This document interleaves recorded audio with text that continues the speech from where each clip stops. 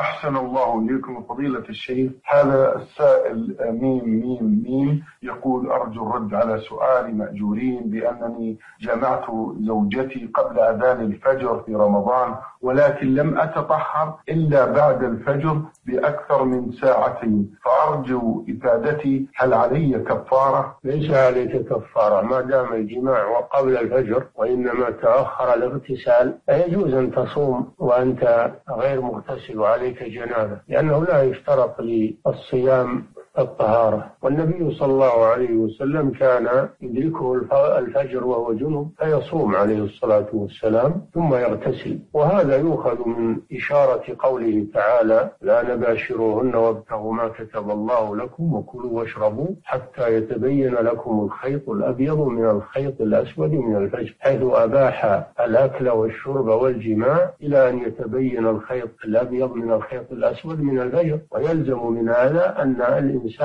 يصبح جنبا لأنه أبيح له الجماع إلى آخر لحظة من الليل. فيلزم من هذا أنه يصبح جنبا وهذا هو الذي وهذا هو الذي حصل من الرسول صلى الله عليه وسلم. ولكن يبقى عليك لماذا تؤخر الاغتسال إلى ساعتين أو أكثر من ساعتين بعد الفجر؟ والواجب عليك المبادرة لصلاة الفجر. والساعتان أو أكثر يخرجان الفجر عن عن وقتها. ولا يجوز إخراج الصلاة عن وقتها ولا يجوز ترك صلاة الجماعة في المسجد. عليك إذا إذا صمت على طلوع الفجر أن تغتسل وتبادر بالتطهر ثم تذهب إلى صلاة الجماعة وتؤديها في المسجد. نعم.